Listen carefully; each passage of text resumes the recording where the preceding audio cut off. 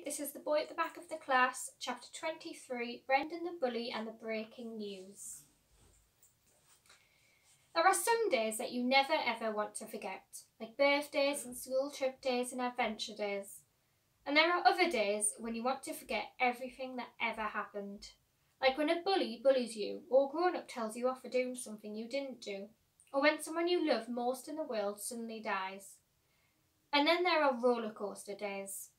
Those are the days when one moment you're so happy that you feel like it's your birthday, but then the next you feel so sad that you want to hide in your bed until everything is over. That Friday, the day after we had learnt about the worldwide whispers, was a roller coaster day. After the morning register, Mrs. Khan suddenly told everyone to leave their things on their desks because we had to go to an emergency school assembly. We only ever have an emergency assembly if something bad has happened, like a fight or if something's been stolen from a teacher. But Josie clapped her hands and asked, Do you think they've found Ahmet's parents already? That made my heart leap up and feel like it was flying. Maybe the emergency assembly was for that. So I looked over at Ahmet and gave him an excited wave. But the assembly wasn't for that at all. Mrs. Sanders only wanted to tell everyone to be on their best behaviour, even the teachers, because the reporters surrounding the school were clearly not going anywhere anytime soon and had put the school firmly on the world's radar. Hearing this made everyone sit up straight, just in case there was a giant radar being beamed down from outer space to spy on us.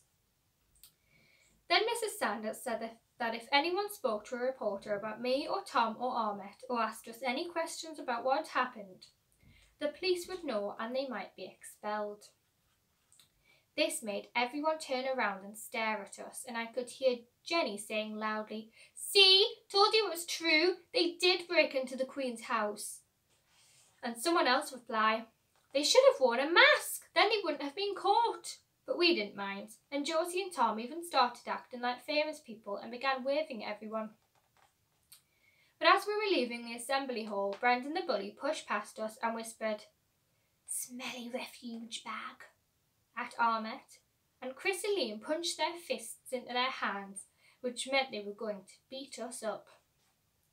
I thought we should tell Mrs. Khan and Mrs. Sanders right away, but Ahmet told me not to. He said bullies that just talk are better than bullies that actually punch because words don't hurt as much. I don't agree. Dad always used to say that words can hurt more than punches because when you get a bruise or a bump after being punched, it disappears after a while and you can forget all about it. But words can stick around for a long time and the meanest words stick around the longest. Tom didn't think Ahmet was right either and said we should pull down Brendan the bully's pants in PE. Josie thought we should save up all our pocket money and pay one of the bigger bullies to bully him for us. But then Michael said that bullying a bully was silly and that we should just ignore him, so that's what we all agreed to do. Except we couldn't. Because at first break, Brendan the bully started to do something which made me hate him more than anything I had ever hated in my whole life, even Beetroot and Mr. Irons. Mrs. Khan says we should never ever hate anyone because hating someone can eat up your insides and gives you heart disease. But sometimes you can't help it. And I especially couldn't help it when I heard Brendan the bully and Liam and Chris singing the song they had made up. The song went like this. Ahmet the refugee smells like poo, so we're gonna stuff him in a bag and flush him down the loo. I got so angry that as soon as I heard it, I shouted at them to shut up and leave Ahmet alone.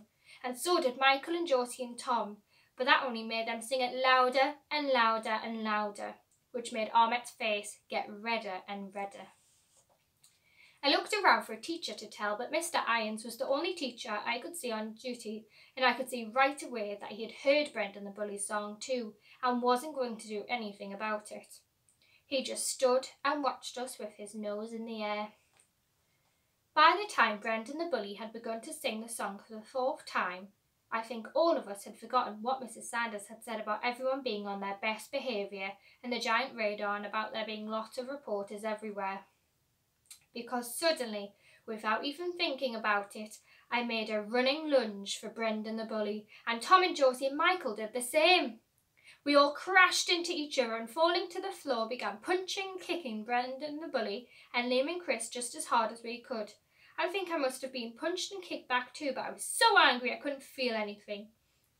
Ahmet stood frozen to, to the floor and watched us, not knowing what to do. But after a few seconds, he roared and jumping on top of Brendan the bully began to hit him as hard as he could too. The fight didn't last for more than a minute, because a few seconds after we'd all fallen to the floor, we could hear a whistle hurrying our way and clicking noises like camera buttons being pressed, as lots of pairs of hands started to pull us away.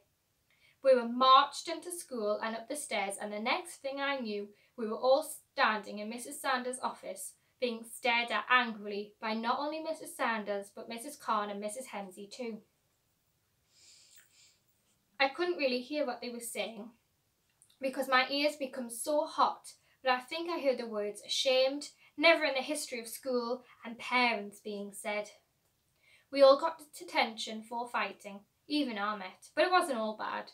When my ears had cooled down, Josie told me that when Mrs. Sanders had heard Brendan the Bully's song, she had given him and Liam and Chris two weeks' detentions and said she would be calling their parents too.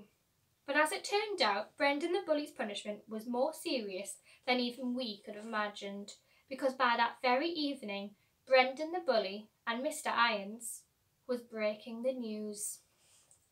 On every single channel and in all the weekend papers, headlines like videos of bully attacking refugee boy sparks outrage and teacher stands aside as school bully threatens refugee boy and school bully trash talks refugee child were everywhere so that by Monday morning the school was surrounded by even more cameras and reporters and vans with satellite dishes on their roofs than before. Brendan the bully and Liam and Chris didn't come into school for three whole days after they had broken the news.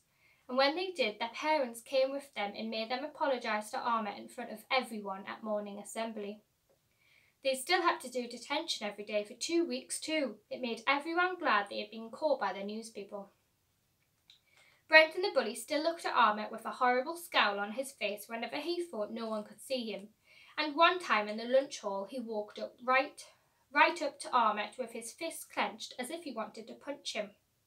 But instead of being scared, Ahmet just looked at him with his lion eyes and grinned. After that, Brendan the bully never went near Ahmet again. And just when we thought things couldn't get any better, that week Mr. Irons and his whistling nose disappeared too, and were never heard of ever again. Boring Miss Stevens had to take over his class, which probably made them just as miserable as they had been before. But no one else really cared about that because now everyone was free to scream and laugh and shout as much as they wanted to at break times again. So we did, except we all screamed and laughed and shouted louder and longer and harder than we'd ever done before. Because when you're playing with your friends and don't have any bullies to worry about anymore, that's exactly what you should be doing.